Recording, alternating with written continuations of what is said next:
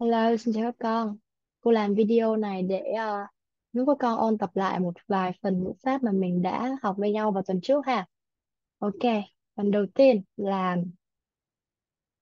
là cái bảng phân biệt giữa đại từ nhân xưng chủ ngữ và đại từ nhân xưng tân ngữ ha. Chủ ngữ thì đơn giản là nó làm chủ ngữ. Rồi, à, bởi vì nó từ chủ ngữ trong trong cái tên gọi mà đại từ nhân xưng chủ ngữ thì nó làm chủ ngữ, còn đại từ nhân xưng tân ngữ thì nó làm tân ngữ. Ok mình có I thì mình chuyển thành me they thì thì tân ngữ của nó là them ha. We thì thành us she thì thành her he thì thành him it thì mình giữ nguyên you thì cũng giữ nguyên luôn ha. Rồi cái bạn này thì dễ phân biệt nè. Um, ok xin lỗi tụi con. Cô đang bị uh, cảm cúm nên là uh, đôi khi cô sẽ bị ho và giọng cô hơi bị uh, khàn một xíu á nên là tụi con thông cảm cho cô ha Rồi, thì đại từ nhân xưng thì nó có thể đứng ở ba vị trí. Vị trí thứ nhất là chủ ngữ nè. À, đại từ nhân xưng đứng ba vị trí nè. Vị trí thứ nhất là chủ ngữ, vị trí thứ hai là tân ngữ và vị trí thứ ba là sau giới từ. Rồi, ví dụ vị trí làm chủ ngữ ờ, đã có chủ ngữ đúng không? Chủ ngữ nè, đúng không? Đại từ nhân xưng. Đây, mình có hai loại, đại từ nhân xưng chủ ngữ và đại từ nhân xưng tân ngữ. Nó làm chủ ngữ thì mình chỉ lấy cái cột này thôi à. Lấy cột này thôi nha. Rồi.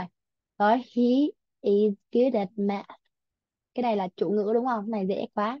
Rồi, cái vị trí số 2 á là vị trí tân ngữ. Được chưa?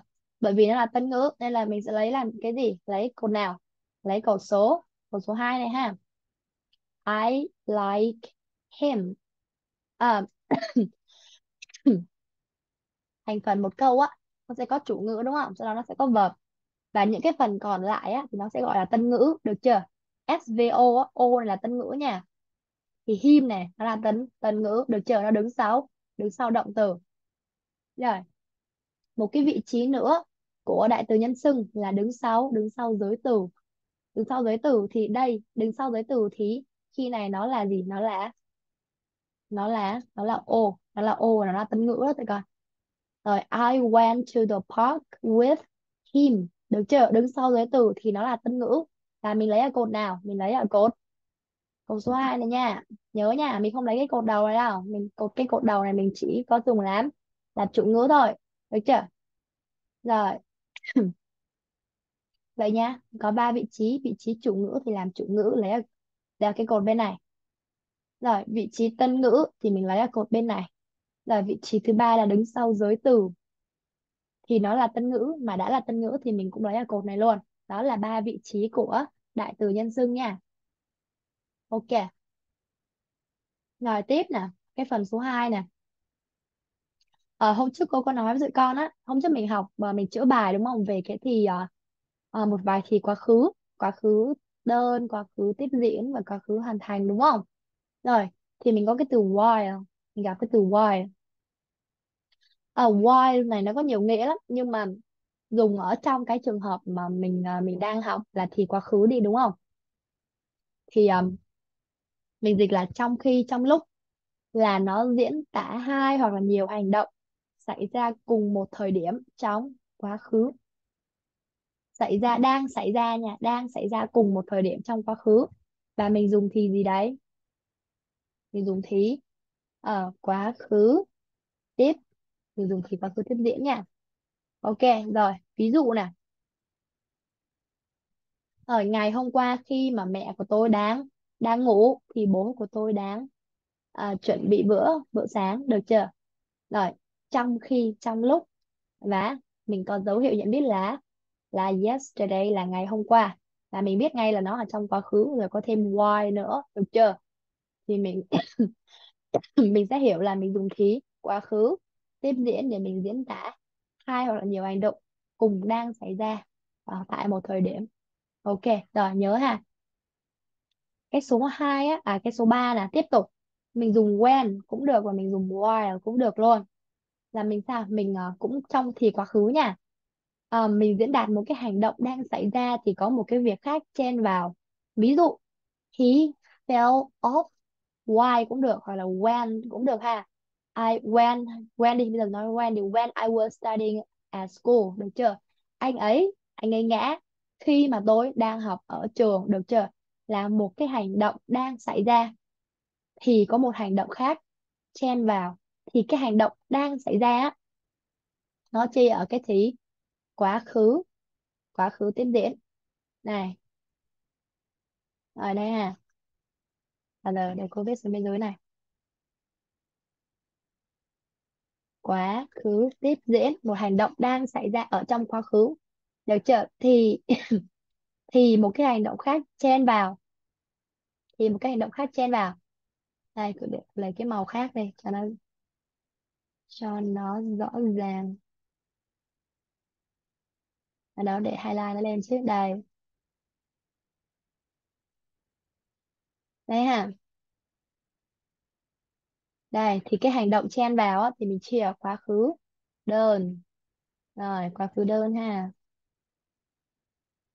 Rồi cái hành động đang xảy ra thì có cái hành động khác chen vào.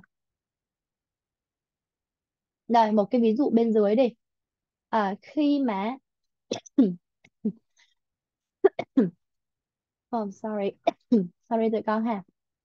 Rồi mấy nay cô ho quá rồi Jack, đúng không? Nó came across là nó nó tình cờ, nó gặp Lisa. Khi mà cô ấy đang đi shopping, được chưa? Thì cái hành động đang xảy ra là Lisa là đang đi shopping. Và một cái hành động khác chen vào là thằng Jack nó gặp con Lisa, đúng không? Mình dùng why cũng được và mình dùng when cũng được ha.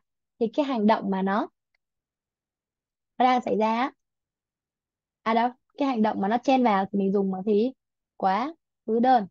Còn cái hành động nó đang xảy ra thì mình dùng quá khứ tiếp diễn. Được chưa? Rồi, phân biệt cho cô nha. Này, để highlight lên cho nó rõ ràng nè rồi, hành động đang xảy ra. Thì chia thì quá khứ tiếp diễn. Còn hành động chen vào thì chia ở thì quá khứ đơn. Rồi, xem kỹ cho cô cái này nha em kỹ cho cô cái này nha, cái này quan trọng lắm đó. Cái này là gặp suốt luôn đấy, được chưa? Rồi, tiếp theo là một cái nữa mà mình cũng gặp nhiều luôn, gặp cực nhiều luôn. Là hai hành động xảy ra trong quá khứ, nhưng một hành động xảy ra trước và một hành động xảy ra sau, được không? Ví dụ nè, khi mà chúng tôi tới cái sân vận động thì cái trận đấu nó nó xảy ra rồi. Thì trường hợp này nha thì mình phải xác định được là cái nào xảy ra trước cái nào xảy ra sau. Nếu mà mình mình cảm thấy được là có cái sự uh, chênh lệch về thời gian được chưa? Thì mình sẽ phải nghĩ ngay đến trường hợp là là cái hành động xảy ra trước thì mình chia ở thí. Quá khứ hoàn thành còn cái hành động xảy ra sau á thì mình chia ở thí. Quá khứ đơn. Được chưa? Bởi vì bởi vì theo đúng cái ờ, cái thứ tự chuyển đổi á thì quá khứ quá khứ đơn. Rồi sau đó nó mới tới quá khứ hoàn thành. Quá khứ hoàn thành. Rồi có nghĩa là quá khứ hoàn thành nó là một cái hành động mà nó xảy ra trước luôn cả quá đơn. Nên là đó là lý do vì sao mà hành động xảy ra trước thì mình chia quá khứ hoàn thành. Còn cái hành động mà xảy ra sau á thì mình lại chia thì quá khứ đơn. Được chưa? Rồi một cái ví dụ nữa để mình mình uh, hiểu rõ hơn ha. Rồi ngày hôm qua họ về nhà sau khi họ hoàn thành xong công việc. Thì họ phải hoàn thành xong công việc thì họ mới được về nhà, đúng không?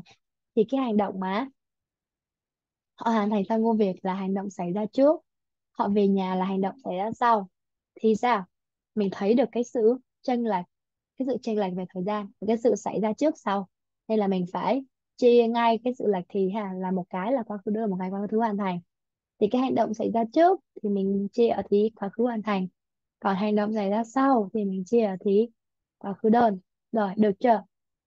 Đây là ba cái trường hợp mà cô cô tổng hợp lại ở trong uh, cái phần chữa bài của mình hôm hôm trước nha. Nếu mà bữa sau mà có chữa mà có gặp thêm á thì cô sẽ cô sẽ bổ sung sau. Trước tiên thì mình cứ học cho cô ba cái này trước bởi vì ba cái này quan trọng lắm. Ba cái này quan trọng lắm nha chia động từ á mà thì quá khứ á, là nó hay nó hay ra những trường hợp này lắm nè. Trường hợp thứ ba và trường hợp thứ tư nè là hai cái trường hợp mà dễ ra nhất. Nên là tụi mình phải xem kỹ và học kỹ cho cô nhé. Rồi good, goodbye. À trước khi goodbye thì mình phải uh, có bài tập về nhà đúng không? À, mình học từ vựng thì không có cần học. Mình học cho cô uh, đây mình học cho cô cái bảng này nè. Được chưa? Học cho cô cái bảng chuyển đổi này. Từ đại từ nhân xưng trụ ngữ sang đại từ nhân xưng đơn ngữ Phải do đó là học cho cô um, ba cái trường hợp này nha. Ba trường hợp này nha. Rồi, ok, goodbye. See you this week. See you this weekend. Goodbye.